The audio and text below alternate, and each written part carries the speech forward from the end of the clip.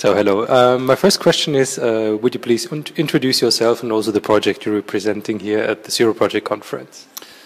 Yes, my name is Thorkil Sonne. I'm from Denmark and I'm founder of a concept called Specialisterne that uh, qualify and employ high functioning people on the autistic spectrum in a way where they can use their, their skill sets in a work environment that cope for their social challenges in a way where they can use their, their natural skills to outperform what's used to in the market in tasks like software testing, data entries, quality control that can benefit from a high, uh, very good memory, um, perseverance in repetitive tasks, attention to detail, and structured mind.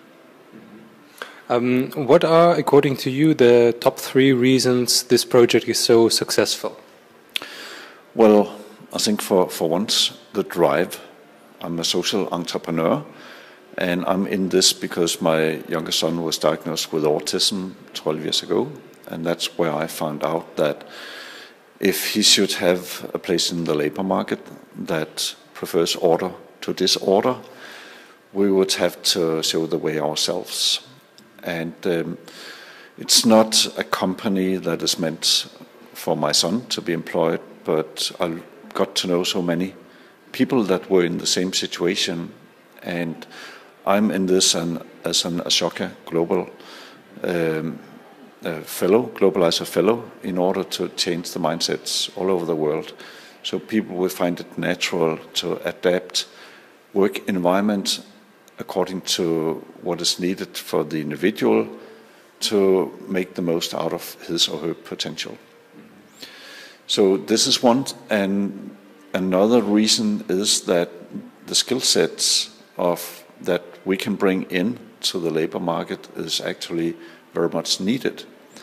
We are talking about unemployment rates uh, that are very high in Europe, 25 million unemployed people, but there are 4 million vacant jobs in IT and science, technology, engineering, math. And these are areas where we can bring in people. So it's not just about jobs, it's about filling up vacant jobs in the sector. And the third reason I could come up with is that it's actually very beneficial for society.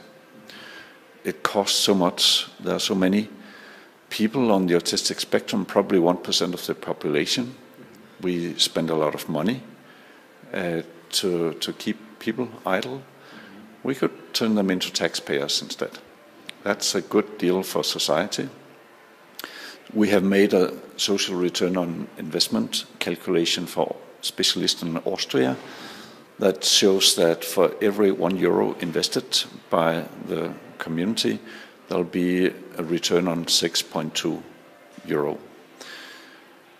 And then the most important thing for us, it makes sense as a human that, of course, these people should also take part in society. They should find a meaningful and productive job, raise their quality of life. The parents can relax when their kids finally find their place in society. So in any way, it's a very good idea. Um, when we think about uh, globalizing or internationalizing this idea, uh, do you see, or what are the obstacles you see for implementation in other countries? Well, for that, I have founded a non-profit uh, called Specialist People Foundation. And the goal is to enable 1 million jobs for what we call specialist people. We're in seven countries today, including Austria. And the biggest obstacle is the way we organize our welfare system. The people are the same. The needs in the business sector are the same. What can be a challenge is to find funding for the training and qualification that is needed because these people know a lot about what they're not good at. They've been told so all their life, but we need to work with them on their motivation, their skill sets, their workability, and that has some costs. And we need the local governments to, to cover these costs. Otherwise, we can't bring them into up to an entry level into the market. When they are trained, we run a consultancy that will be self-sustainable after we have reached scale. So, um, but that this can be complex when you go across Europe, for example. Um, but the people are there, the need is there, and the rest is about planning. Okay. Uh, my last question is: um, What is your impression from the Zero Project conference so far, and what would you, would be your wish for the future? Well, I think it's it's a wonderful idea, and um, the first year's report, I I paid especially attention to some of the findings, namely that employment is a big issue for people with disabilities, and in particular, the government institutions' ability to employ people with disability was one of the really significant outcomes that there's a big, big problem there. And they ought to be the first ones to employ. I think it's a wonderful setting. I'm a social entrepreneur. um, I'm, I'm doing this uh, following my intuition.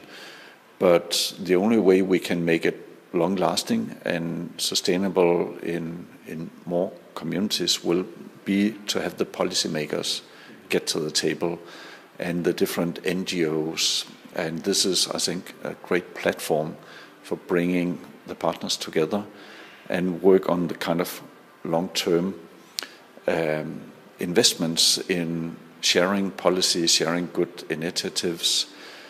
And I hope that we as social entrepreneurs can contribute, but we are the go getters and we need the, the pol, uh, politicians and the bigger NGOs to, to work together from, from the go getter side and the, the kind of more political side. That's where we can make long lasting solutions. Thank you very much.